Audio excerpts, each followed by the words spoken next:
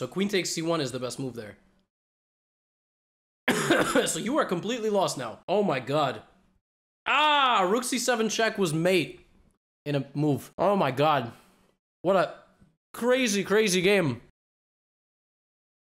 Oh my god, it's just over. You are getting battered. Bishop d6, game over. That's so crazy that white did not look for another check. That white went here instead, and suddenly you're back in the game. Oh my god. Oh no. Oh my god. You're fall. All right, no more drama, please. Thank you. Yo, nice move. Trade the queens. Trade the queens. And white trades into a losing king and pawn endgame.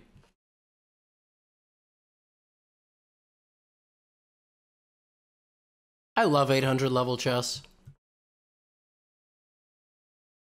Amazing.